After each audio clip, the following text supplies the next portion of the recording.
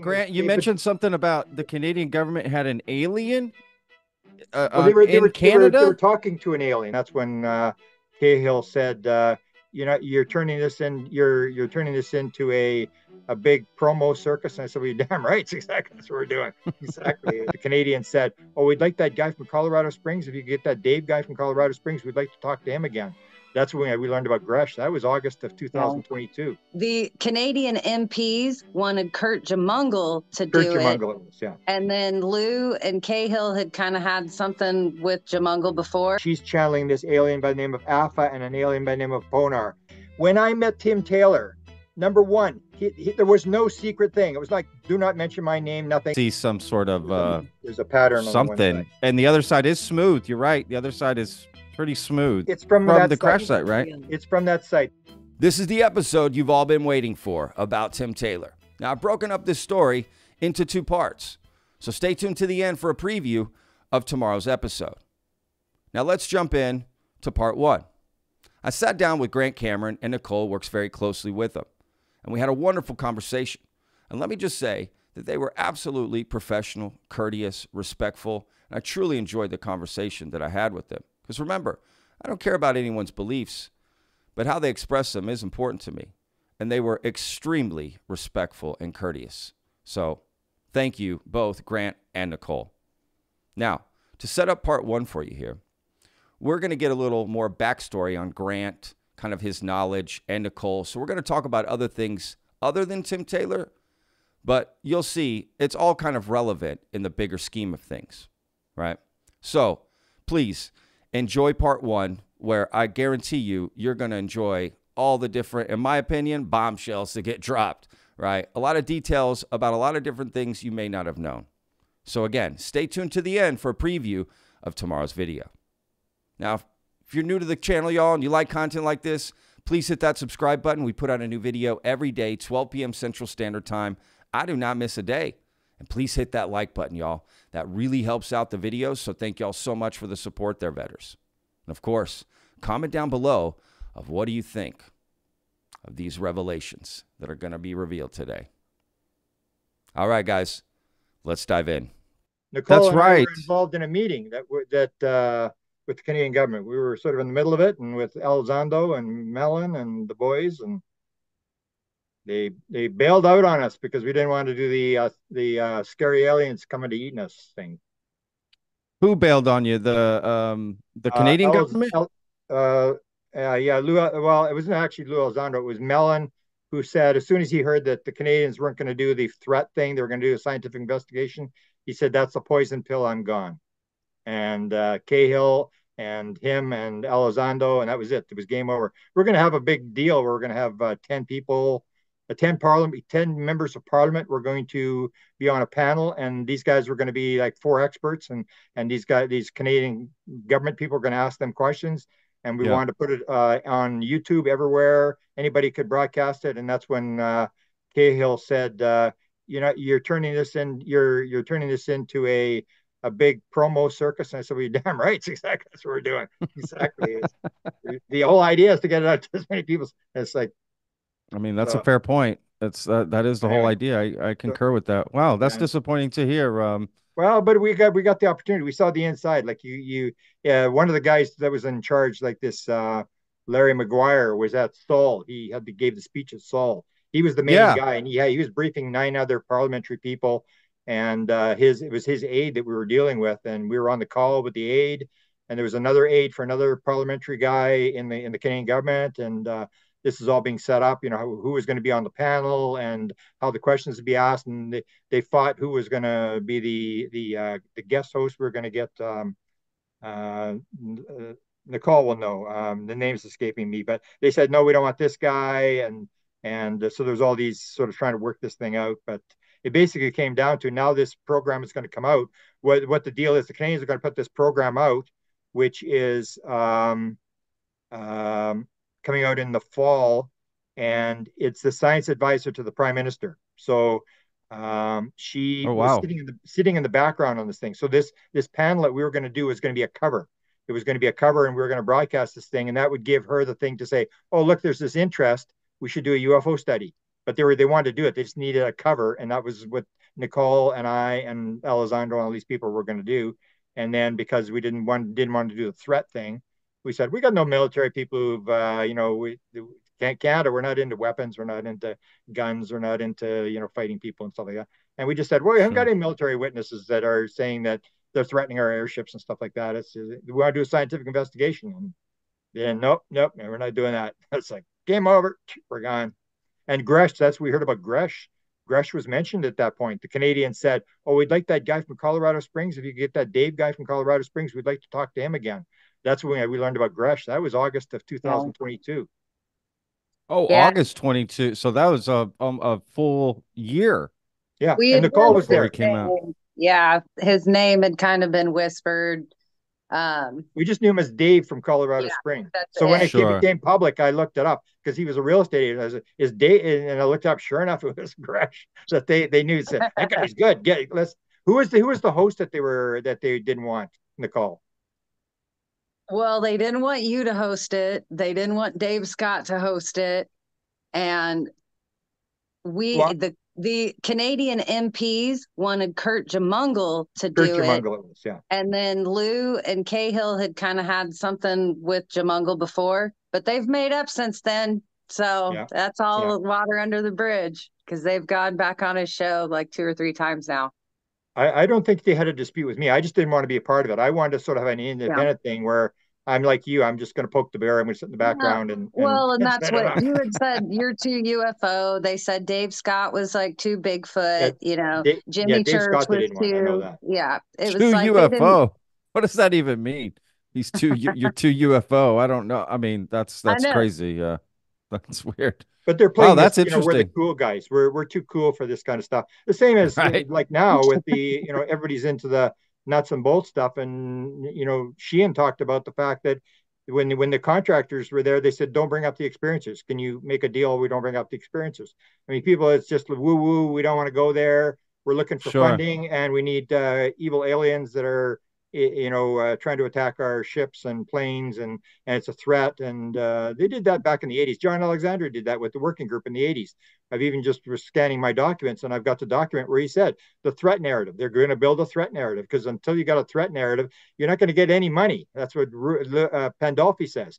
There looks loons, crooks, and worse. Interesting. That, that, that you you you you run there, and Pandolfi described it as all these guys like Puthoff and all these guys uh, he said that they they ran through all the billionaires and they ran out of billionaires and now they're going after the government people for the money. And they're trying to run you know their experiments and fund their projects. And that's what it's all about because in the leslie Kean days when she did her book 2010 she said it was a threat to airline traffic. And i guess everybody just sort of laughed and said get out of here. So that didn't work. So now they're doing the threat to the military and all this kind of stuff. And you got congress running around and how much money do you want? And everybody walks out with a suitcase full of money I mean, unfortunately, I hate to say it, but America works on that fear, right, in the government and getting funding uh, through the NDAA, right, the National Defense Authorization Act. So, yeah, that doesn't surprise me, but that's disappointing to hear. Um, but it's good to know that the Canadian government is still going to move forward with something, right, and still going to look into this.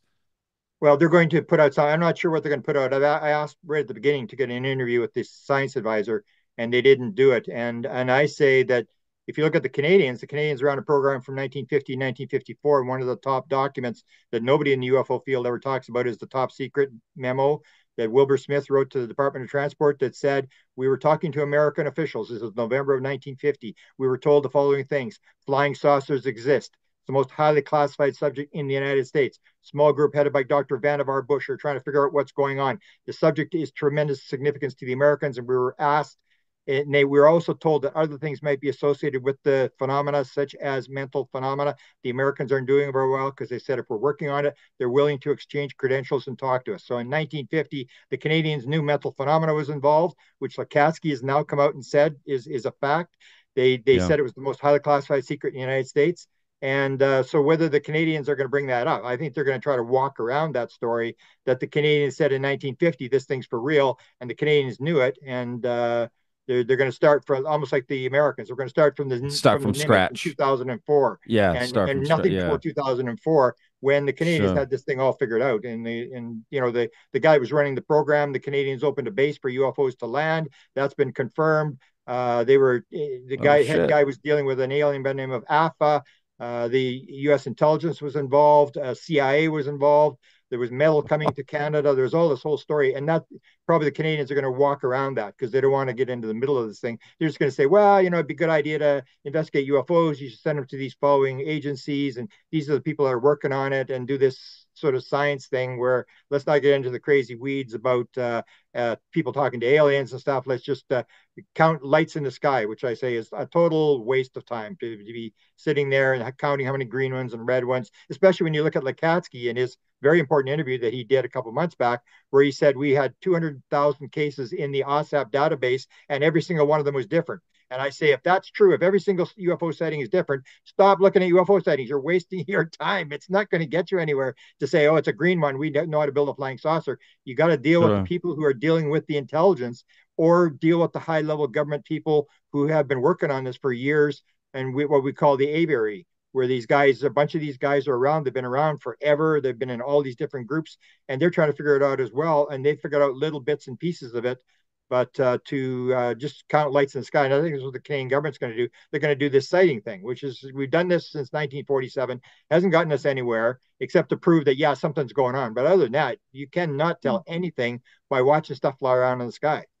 Well, what was it when we were in our meeting? Remember the slideshow that was made that never got used? And there was a block there was a block of known cases that they gave us. And it was from like 1950s all the way up to like 1969 and then there was like a 30 year gap where it like jumped. And i'm like well where what That's about weird. stuff in the 30 year gap? Yeah, like let's fill that weird. in with some you know shag harbor or or something which you know maybe those weren't necessarily cross data verified cases, but you know, no, that's still asking, weird. Uh, yeah, that's still weird MPs to have that gap. Asking for known Canadian forward cases, so I just sure. wondered why some were left out. So, yeah, well, they, uh, the thing. Grant, you mentioned something about the Canadian government had an alien. Uh, well, they were, they were, Canada. They were, they were talking to an alien. They were talking to an alien. If you go back, there's a there's a documentary. Um, now, which documentary is it in? Um, the uh, 1975 documentary UFOs Past, Present, Future, which was redone as oh. a documentary in 1979 called UFOs It Has Begun. And in yeah. there, you'll see a story that was given to my friend Bob Emenegger.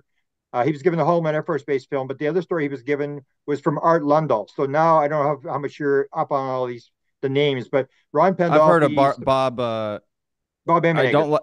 I hate saying the last name because at, at the end of it, I'm like, gonna say yeah. something racist. It sounds like. So anyway, he like... was he was approached by the CIA, and the C and then people don't realize that the, the, government is leaking this stuff. I've written five books on this. They they're leaking stuff into the into the community, and it's this plausible deniability thing. You put it into Disney, you put it into Bob Emenegger doing documentary, and then you pull a film, and so he puts it out, and you don't you can't confirm anything, which is what sure. the intelligence is doing as well. They're they're not sure. giving the whole thing. As soon as you get part of it, then they drop out, and you can never confirm the thing. So it's in this documentary where he's approached by Art Lundahl, who was the head of the the first head of the weird desk at the CIA. He was the guy that that analyzed all the film for the Robertson panel in the 1950s, ran the National Photographic Interpretation Center, which is the CIA building, one of the most highly classified buildings in Washington, which is where they analyze all the U 2, the SR 71, all the spy photographs come in. He's the guy that invented digital uh, photography with satellites, where you take it in digital and then you enlarge it and you move the pixels around. He invented this whole thing.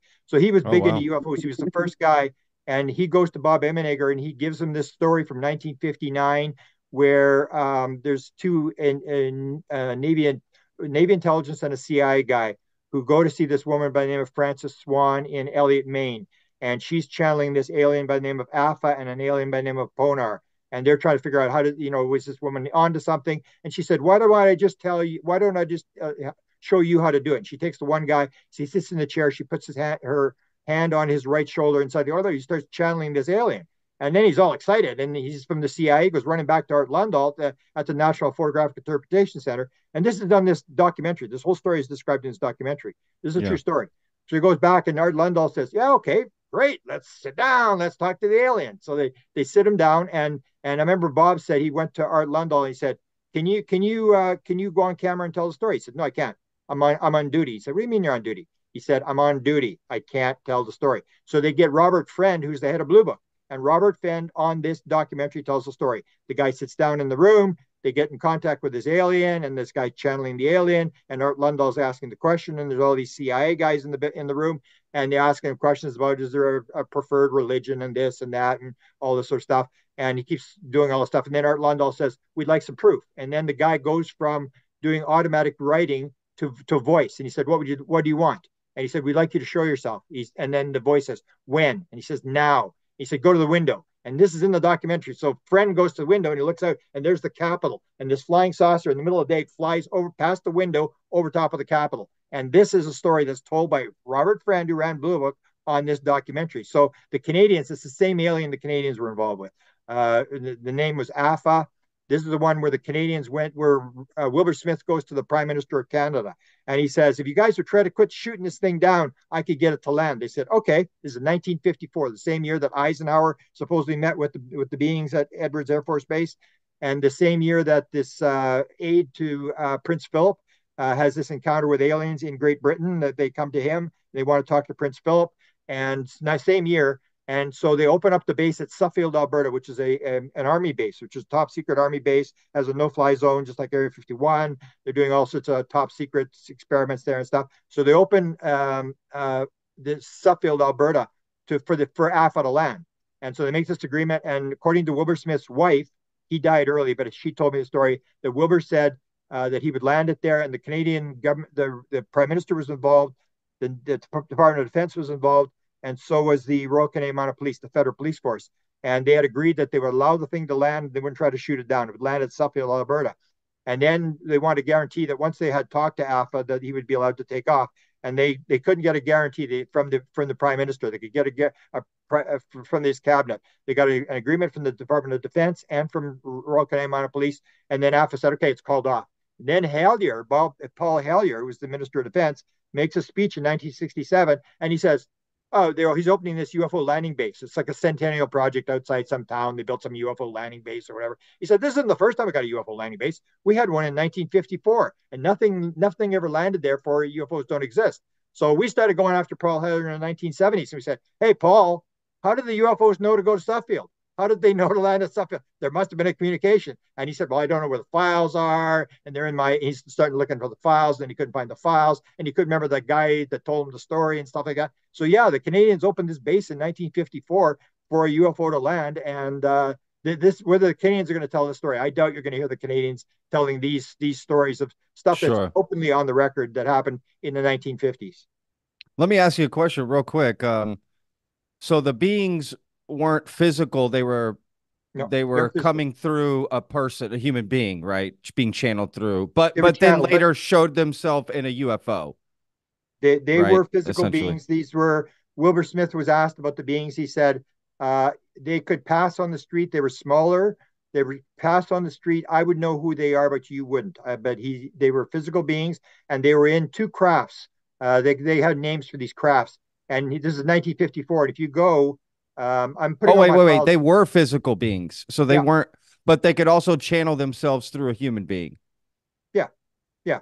As okay, we all interesting. Can. As as we all can. I mean, so so that's where they were using this this Frances Swan to communicate. But in 1954, she said there's two crafts. They're in two crafts that are rotating around the Earth.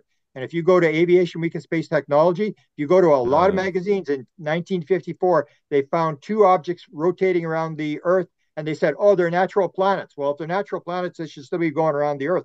And this was a real story. There's a yeah. bunch of articles, New York Times, uh, about these two objects flying around the Earth, and that's what she had said. There's they're in these crafts around the Earth, and and they they had all these messages. Wilbur Smith actually wrote a book called The New Science, and I may put some of them. I've got a couple of copies. Uh, there's maybe only a couple copies in the world. I think they only printed about a hundred of them, and most of them went to to the Scandinavian countries and Russia and I've got a couple of copies. But this book is called The New Science, and it says right at the beginning of the book, it said channel. It says given to me by by intelligence more intelligence than us or higher than us. A, a whole book was channeled. It was all this mathematics, how the world works, how uh, creation comes in, uh, what the the beings told him. So he had, had gotten all this material, and he was putting it out, and the Canadian government didn't uh, didn't accept any of this stuff. And as Wilbur Smith said, no government official is going to admit something that they don't have answers to. They just they don't they're not going there. And so sure. they basically because then they get more questions, right? Uh, yeah. Essentially. No, that makes sense. Look, um, I, gosh, Grant, I'm gonna have to have you on again and do like an epic three, four hour podcast. I love listening to you. I really, I do. Uh, you, you got a lot of information. You're spouting off dates and times. I, I can't even keep up with the notes here. Uh, I do. I, I would love to have you. you. back on. And yeah, no, uh, this I love this stuff. Uh, you kidding me? I'm all in. Uh, I, I, love hearing this stuff. I just have so many questions. You've dropped so many bombs. I, I got like a bazillion questions, so I'm gonna have to have you on again to discuss, you know, your story, this stuff you're telling me. This is fascinating. Honestly, this is fascinating. Also, what I found fascinating is what you said about Kurt Jaimungal, who hosts uh, Theories of Everything. That the Canadian government wanted him to lead uh, this UFO. I, I, don't know what you want to call it—a group, a, a, a panel, uh, a movement of sorts. Uh, that's interesting. Um, so, so now there's going to be nobody leading this thing right? Well, this was just a, a, promo to, to get out the fact that there's 10 Canadian members of parliament from all different parties. So we work a little bit different. We have a parliamentary system. So it wasn't really the government. The government is the Liberal Party and they run the whole show. The guy that oh, was okay. that, that was um, uh, Maguire is in the opposition. So he has no power to do anything. That's why they said uh, uh, uh, Mellon is saying, well, you form this committee and then you you bring in all these uh, military witnesses and it's a threat and all this sort of stuff. And then Maguire's uh, aide is trying to say that it's not how it works. We can't. We, we don't have any power to spend money. We don't. We can't bring in te- stuff. The government runs the committees, so we can't. We can't do that. And yeah. um, so it was. Got it was it. sort of the opposition, but there was some members of parliament. But it was just sort of a promo type thing to run cover for the science advisor so that she would have something to say. Oh, look, we got all this demand. For hey, yeah, exactly. And, and we'll do this kind of thing. They, they, just don't want to come out on their own and say they're going to do sure. it. But now uh, Maguire had asked her, and now she's coming out with this report. But um, the, the weird thing was that uh, Wilbur Smith, the guy who was the ran the Canadian program, who wrote this top secret memo, was getting all the material, and who actually saw the bodies. I, I interviewed his son. I've got on tape. Uh, his son's now dead, but his his son said he had right at the end of his uh, life in 1962 he died he said, I went to my father, my, they couldn't touch my father anymore. So I asked him, uh, have, did you see the bodies? There's a story that he saw the bodies in the crafts. He said, yes, I did. And he said, uh, it was outside of Washington. So we're assuming uh, uh Andrews Air Force Base or something like that. And yeah. the description was that the beings were smaller. The first question I asked the son is, I said, were they grays? He said, no. And that's what I say to people is, is this idea of projection that there was no grays. I don't care what anybody says. There was no grays before 1961. There, there was there was aliens with bubble helmets, like spy, like right out of uh, science fiction cartoons of the 1940s. But there was no grays. There was. Oh, you're saying it's a space helmet, not their actual head. Yeah, space helmet. Right, right. So that's the Got thing it. is, and then how many have space helmets now? They don't. That was 1940, 1950. That's, that's when it was in all the cartoons and stuff, and it reflects. It's that's what uh, Brandon Fugal says and uh, in, in what about Whitley Strieber's book, The Communion? Right? Doesn't that have that that? Yeah, that was when they. Gray... That's there was Whitley Strieber in seventy five. Strieber, sorry. 87 Barney Hill in this in the 60s and a couple others that mentioned grays but they really didn't weren't Isn't Strieber in 80s? Later. Wasn't he 85, 87. 86? Yeah, 87. 87. Okay, yeah. that's what I thought too. book uh, out. I think 86 it happened, Christmas of 86 but if you take a look at those aliens, what you see is it's reflective. People say, "Oh, the grays," and I say, all you have to do, and I did it with a with a PowerPoint. You take the grays, you take Betty Hill's gray, put it on the screen, yeah. then flip Whitley Strieber's gray, then Betty Andreasson, who wrote six books on Betty Andreasson and her encounters with the grays, and then you you look, and none of them look the same. They're not even close. Everybody's just assuming that oh, they're all these grays, and it's this I idea of reflectivity. That's what Brandon Fugal says. When you go onto the ranch, be careful. The phenomena is reflective. Whatever you take on the ranch is going to come back. And that's where I say, they say, oh, the skinwalkers oh, followed these guys home. These guys were special forces guys. They were armed. They were out hmm. there and they were hunting the skinwalker. And the skinwalker says, oh, you want to play that game? Yeah. This the phenomena is neutral. It says, you want to play Skinwalker? Okay, we'll play Skinwalker. It, it, and they it take reflects, it home. So yeah. they take this horrible thing, but it's their attitude, this this sort of fear attitude. Because if you look at Chris Bledsoe's story, Bob McGuire and his wife go there, and the hitchhiker follows them home. and they get healed. So it's it's reflective of what you do. Whatever you put in is what you get out. And that's what happens in in all these phenomena that that we we sort of think that there's this phenomena that's, that's independent of it. It's not. Sure. We're part of the phenomena that we are we are engaging with. And that's where you see that 200,000 sightings, and they're all different because we're part of the thing. We we sort of think there's this uh, thing, and that then we start yeah, to see when you start okay. looking closely at the at the sightings, you see like the ones I had 76, where these people are at a at, these kids are drinking at a at a um, at a reservoir, and this you the, this Charlie Red Star thing that they're now going to do a five part series on comes over the reservoir, shoots this beam down into the reservoir, and this object appears under the water, and it starts going towards them, and they're they're they're freaking out. They're they're having a big drinking party and they're freaking out and they take a rock and they fire it at this thing as it comes right up to the to the deck and the thing breaks into five pieces and the five pieces go and they go back into to where the, the beam of light is, go back together and go back into the ship and fly away and you start seeing these bizarre things that things are breaking into pieces they're making triangles.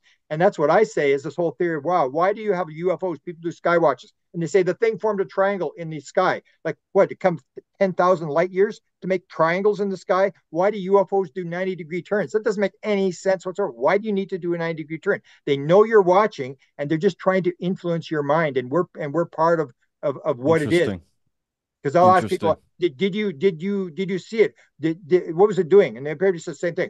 It wasn't doing anything. It was just sitting there, like Bud Hopkins. It was just sitting above the car as he's looking up in the daylight. This thing's sitting there, and then then it takes off as, as like like lightning. And I say, what do you need to take off like lightning? With, that happened with Brandon Fugal's first sighting. It took off like a bullet. Doom. Like, why does that yeah. have to take off? Like, would it suddenly realize it forgot the, the wife's dry cleaning and we got to get out of here? Yeah. It always does the same thing on the on the Nimitz photographs. It takes off at this high speed because they want you to go, holy cow, what the hell's going on here? They're trying to get your attention. They're trying to get sure. you curious and in awe. And when you get curiosity and awe, you start to do investigations. As long as they don't get your attention, I call it like the Jesus thing. Why did you know if Jesus hadn't walked on water, fed five thousand people, and and healed people, you never heard of the guy. You got so they're showing off their powers, right? They got to show off uh, their you gotta, capabilities. Yeah, you, you, do the circus and then you put the message. You don't do the message. We do it backwards. We go in, we say, "We're How long have they been doing the circus though?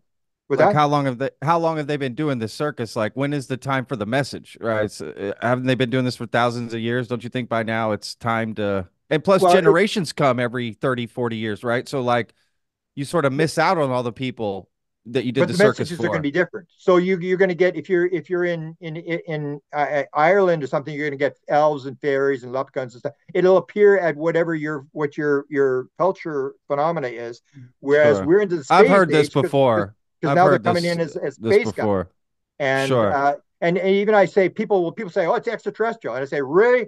You really think this extraterrestrial? Go back to 1896. There's the that's when the year we discovered radioactivity it was 1896. Suddenly there's this massive 10,000 sightings of, of airships flying over the western United States and over Europe, and these guys hanging down on ropes with beards and talking this riddle language and stuff like that, and saying they're from Mars. And I say, do you yeah. seriously believe that this wooden ship with a propeller uh, coming across and, and, the one that crashed in 1897. If you go back and read the story, it hit the windmill and it crashed, and it, the guy got buried in the in the yard there in in Texas. It was moving at eight to ten miles an hour, and you start to realize like this is a total bizarre story. That if you believe, you can't believe that this thing flew through the vacuum of space on a wooden ship with these big lights on it from Mars. they're reflective of what we see. So what happens is sure, we detonate sure. the atomic bomb, and and they just appear in mass because it's all one thing. Everything in the universe is connected. Everything is the the, the non-duality. So everything is connected and it rang like a bell and everybody knew these kids the, the kids had the matches